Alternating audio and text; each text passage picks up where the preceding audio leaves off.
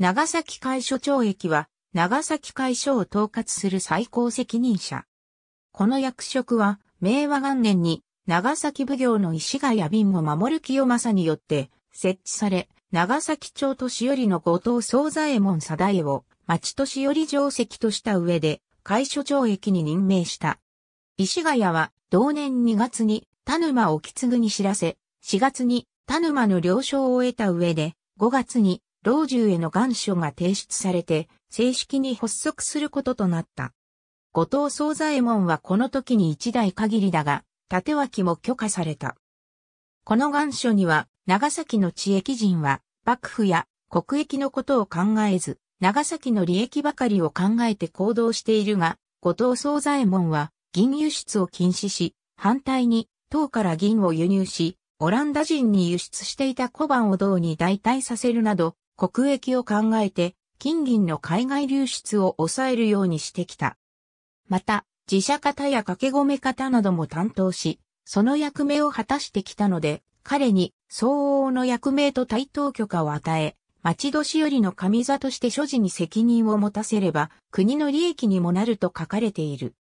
会所長駅は、町年寄りより定石であり、その職務は、長崎会所や等、オランダ貿易の監視、取締りを行い、問題がある場合は奉行所へ知らせ、所持は年番の町年寄りと協議するが、地下の役人からくじ訴訟を取り継ぐことはできないとしている。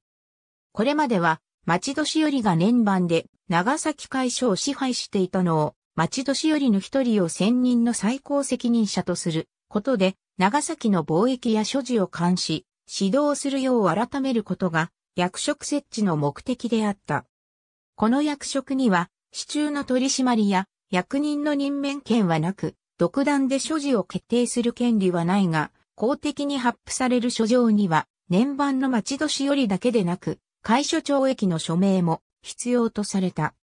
長崎会所長駅は、町年寄りの上に立って、長崎の貿易をも含めた、所持一般を統括する、地下役人側の最高責任者となり、長崎奉行は、会所長駅を通して、役人たちへの様々な通達が伝えられるような体制が作られた。この役は、後藤総左衛門が安永9年に死去してから空席となっていたが、天明5年に町年寄りの薬師寺東左衛門ためへと、久松全米忠政が任命され、囲碁町年寄り二人がこの役に任じられることとなった。なお、会所懲役の創設を天明5年とする文献もあるが、後藤の死後に一時期空席になっていたためで、創設年は明和元年である。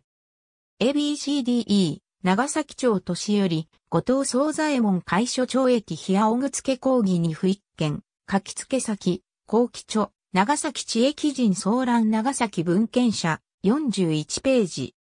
鈴木康子著、長崎奉行の研究詩文各出版、274ページ。鈴木康子著、長崎奉行の研究詩文各出版、274から275、293から294ページ。AB 鈴木康子著、長崎奉行の研究詩文各出版、299ページ。先、後期著、長崎地域人総覧長崎文献社、57ページ。ありがとうございます。